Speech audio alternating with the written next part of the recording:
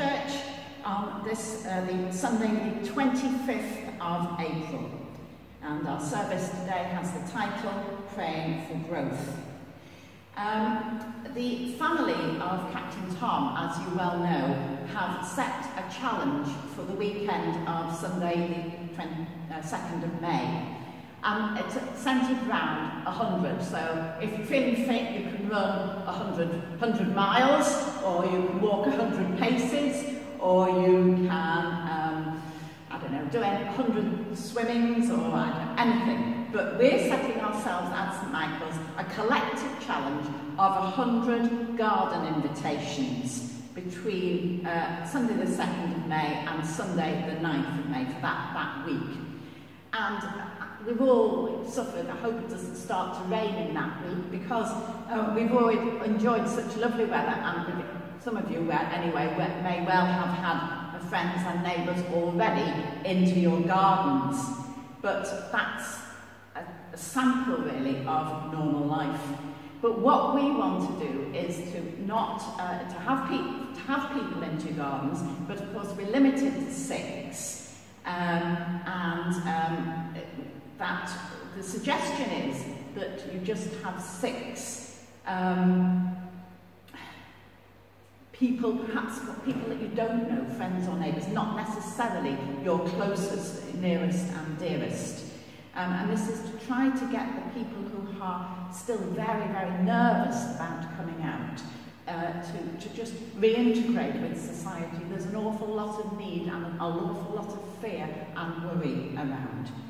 And um, the suggestion is uh, that if you don't have a garden, uh, perhaps you can team up with somebody who does. And the idea is that you don't, people bring their own drink, uh, own, own glass or cup. Uh, no, I think they're only serving cold drinks, so their own, own glass, and uh, you just supply the, the drinks, cold drink. Um, I've got some letters that for you to take home with that Uh, our first hymn then is Here I Am, Lord.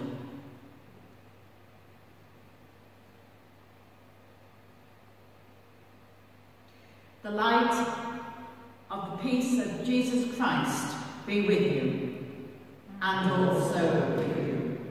The glory of the Lord has risen upon us. Let us rejoice and sing God's praise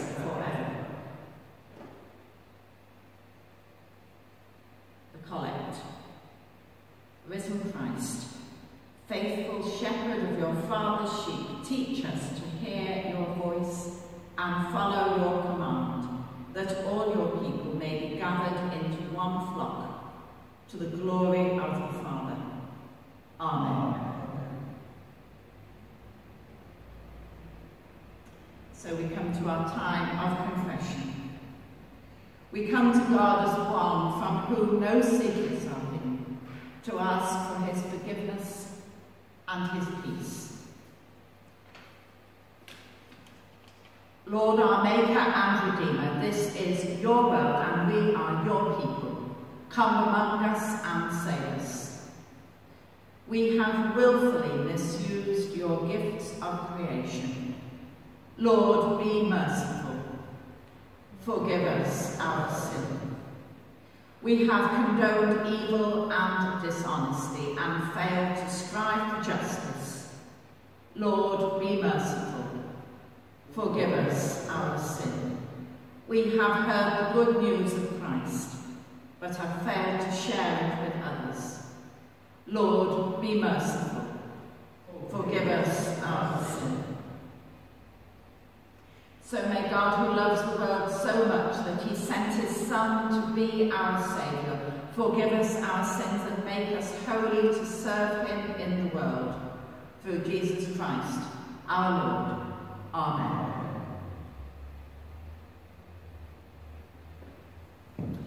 So we affirm our faith in the simple words of the simple creed.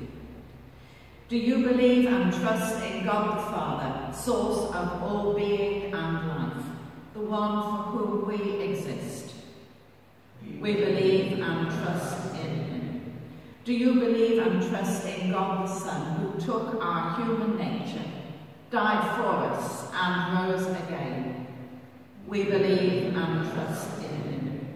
Do you believe in God the Holy Spirit, who gives life to the people of God and makes Christ known in the world? We believe and trust in him. This is the faith of the church. This is our faith. We believe and trust in one God, Father, Son, and Holy Spirit. Amen. I'm going to ask Ruth to come and uh, read to us from the Bible, from the Gospel of Matthew. Bible reading is taken from the Gospel of St. Matthew, chapter 13, verses 31 and 32. The parable of the mustard seed. He told them another parable. The kingdom of heaven is like a mustard seed, which a man took and planted in his field. Though it is the smallest of all seeds, yet when it grows, it is the largest of garden plants and becomes a tree, so that the birds come and perch on its branches. This is the word of the Lord. Thanks be to God. Let's pray. Dear God, head gardener, help us to see the kingdom of heaven that is around us and help us to understand how this small but mighty parable about the mustard seed applies to St. Michael's here, now, today. Amen. Well, it's official. We are a growing church. Let's just take a moment to recognise what's happening here. Why is it happening here? And what our part is in helping the kingdom of heaven thrive here. So, what's happening? Lots of things. Here's three that I can think of. We've raised more than we hoped for in the space of a few short weeks to renovate and repair the church hall. And we have doubled our congregation in the last couple of years. And right now, the other visible sign of abundancy, I think it's just outside these doors. What a beautiful garden we have, with new trees planted and flowers everywhere, and the daffodils were amazing, and now it's time for the cherries. It's drawing strangers into the church grounds. In fact, when I arrived this morning, there were two young lads sitting next to the violas with their backpacks, and they waved to me as I came in. I think the church grounds are bearing witness to the love and commitment and the cherishing spirit that we have for our church and our fellowship. Okay, why is it happening? Well, Neil isn't here, but I do feel that we have a very committed and dynamic vicar in our midst right now. He seems to be pulling out the best in us. He's challenging us. And occasionally we might think he's in danger of wearing us out completely. Mm-hmm. yes, this vicar knows how to delegate, how to fundraise, how to evangelise, how to revitalise. Now, what is our part in this? Well, let's remember who it is that's truly in charge of bringing growth to our church. Who is in charge of Neil and all of us? Who is in charge of the kingdom of heaven? God is. So let's keep our gaze fixed on God, the big boss. The presence of the Holy Spirit is here, and it's working with us and through us. Our part is to seek out and pray for guidance from the Holy Spirit to keep this going. And that's what we're talking about today with the four P's, the prayer part. Jesus describes how the kingdom of heaven might look to us when it's growing in this tiny but mighty parable of the mustard seed. And the Gospels do not record what kind of mustard seed or how to interpret the parable. So I can tell you, when I started to dig up the dirt, I found a great deal of different takes on it. And being Lucy, I had to examine every single mustard seed to figure out which mustard seed Jesus was talking about. And I am convinced that he is talking about one called the Salvadora persica, which is what you see up there. Now, here is how we can apply this parable to us to help inspire us at this time of growth. We can see this little patch of Blundell Sands as our church's allotment, perhaps in God's kingdom of heaven. We as a church have chosen to pay some serious attention to the mustard seed that God has given us to plant. And we hope, therefore, that it will grow and thrive. As a church, we can fertilise it, we can tend to it, but ultimately we know God is the one who causes the seed to grow. And as gardeners, we need to look to God to ask for his gaze to continue to shine down upon us and for his living water to continue to nourish us and for the Holy Spirit to keep guiding us in the nurturing of this seed that is now growing. Neil, the PCC and the congregation combined, we can't do this on our own. God wants to bless us. Now, it would have definitely been well known, this particular seed, the Salvadora persica, to the disciples and others in the region during Jesus' time. Let me tell you about this amazing seed that we have growing here. It is indeed tiny when it starts out. A wee bit like the church congregation was a few years ago. Nevertheless, this seed has always contained God's word. It usually needs some close expert attention for the first three years, but then not so much. It grows steadily, even in dry, windy, salty, sandy conditions, perfectly suited for Blundell Sands. It lives for a long time, and it spreads through its own root system. God's word is firmly planted here. God's word can take root and spread here, in and from this allotment. Let me tell you about the branches and leaves. The leaves are evergreen, and the branches grow out in a great span, and they are plentiful. It provides shade and protection from a wild and windy weather system. And as it grows, birds catch sight of it, and they start to flock to the tree for shelter and to rest within the shade of its leaves. With God's will, his seed here will grow into a great church, just like this, and people will flock to the church, our tree of life, to find God's peace. We hope for that, don't we? For us and for those still to find us in our church community. The berries the fruit from this tree has a beautiful aroma, and the berries taste sweet and peppery. The birds love them because they taste good. The flesh of these berries also has healing properties. Apparently, this fruit can be used effectively to heal a wound made by a snake bite. So the fruit of this tree will nourish and heal the birds resting on its branches. The bigger the tree grows, the more birds will find sustenance. Just as Jesus came to be as flesh amongst us and sustained us in the accepting of his word.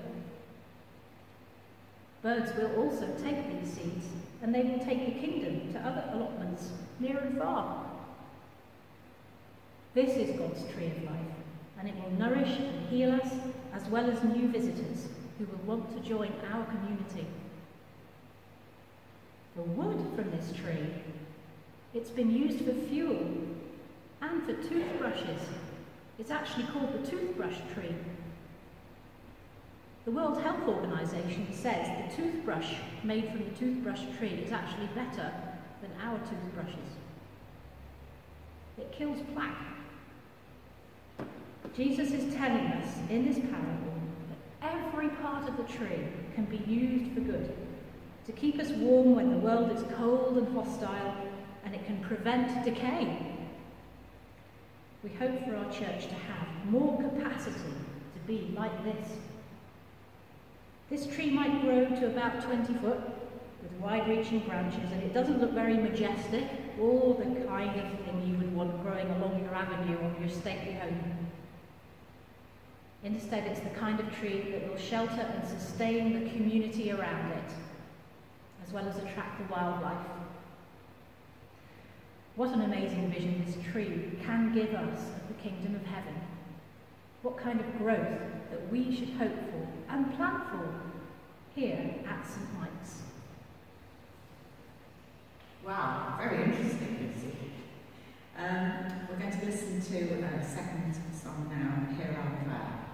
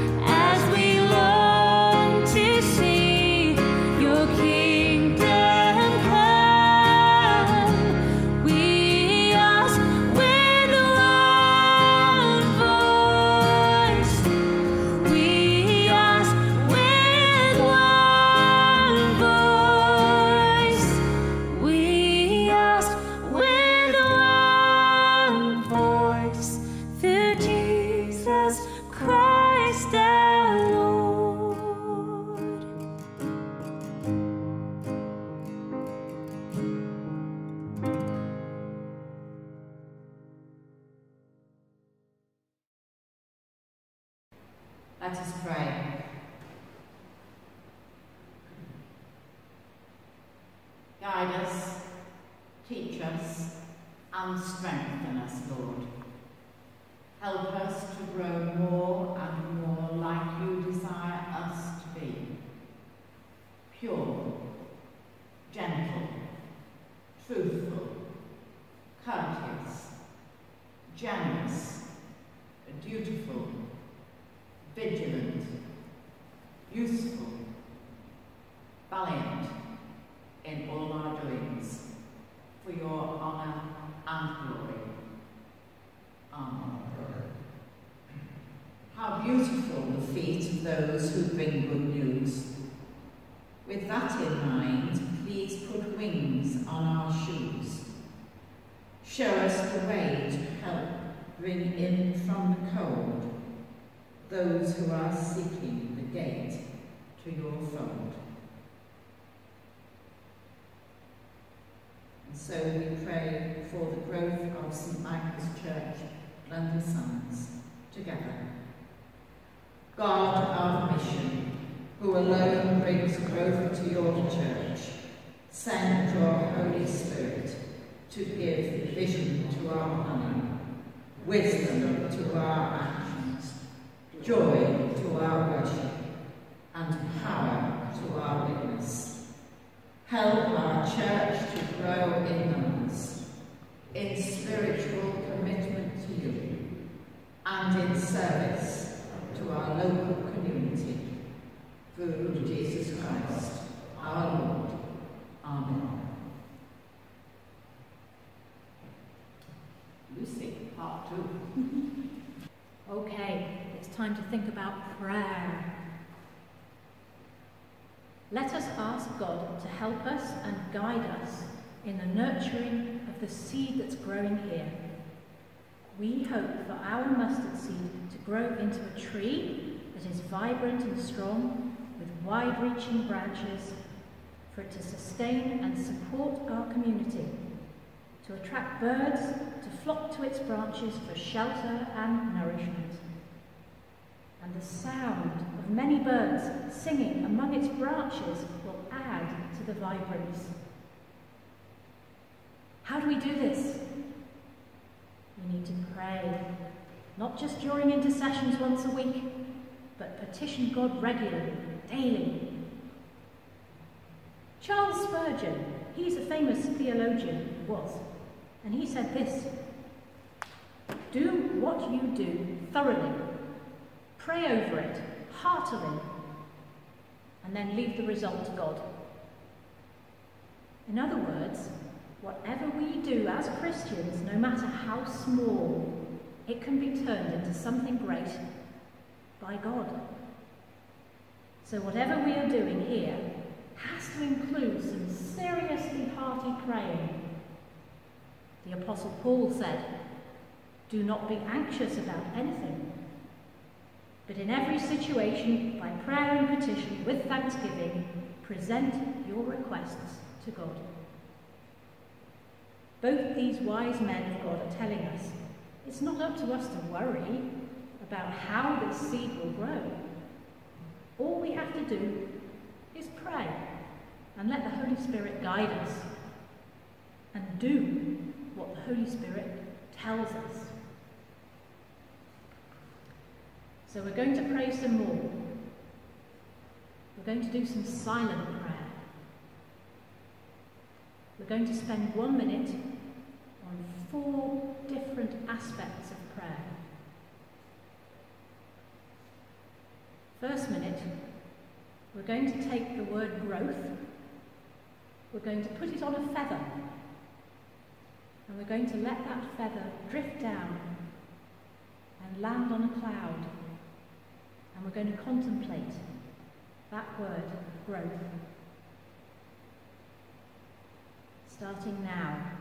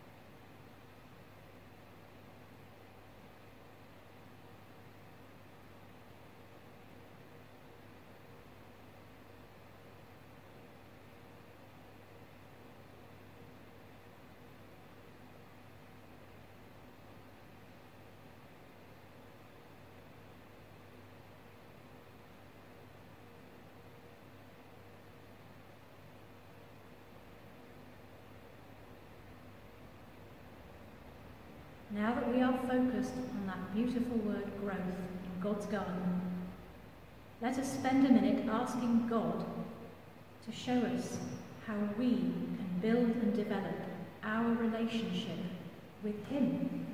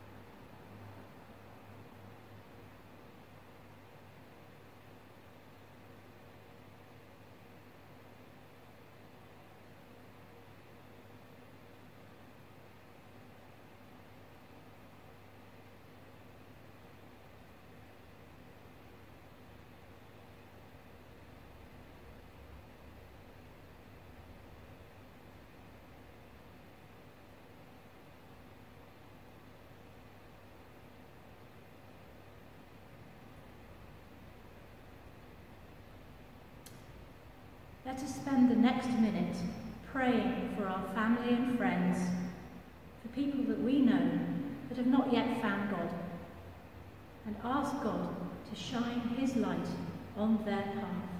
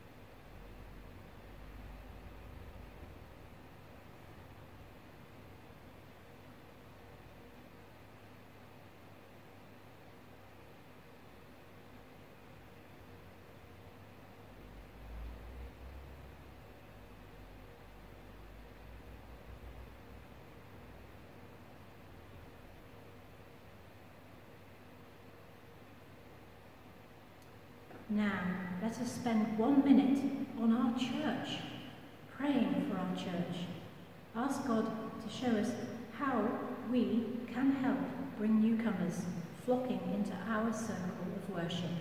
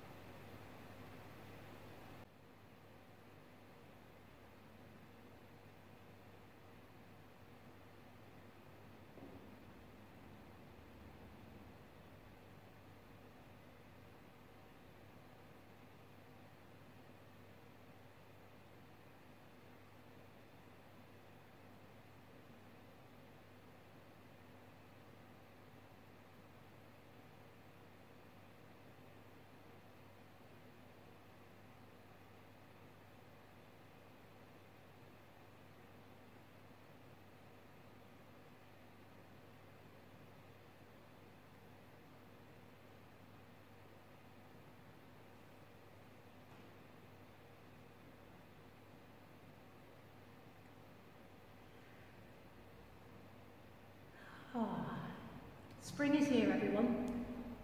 Things are growing. Let this church be a keen gardener for God, and let us tend and nurture this mustard seed that He has given to us. Thank you, Lucy. Um, I'd just like to say a little bit about that uh, first thing, the idea of just stilling at the beginning of the prayer time.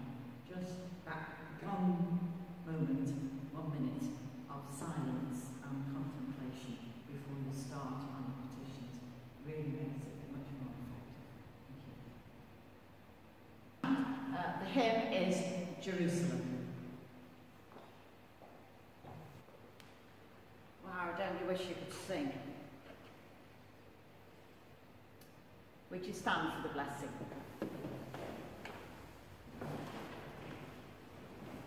The love of the Lord Jesus draw you to himself. The power of the Lord Jesus strengthen you in his service. The joy of the Lord Jesus fill your hearts and the blessing of God Almighty, the Father, the Son, and the Holy Spirit be amongst you and remain with you always. Amen.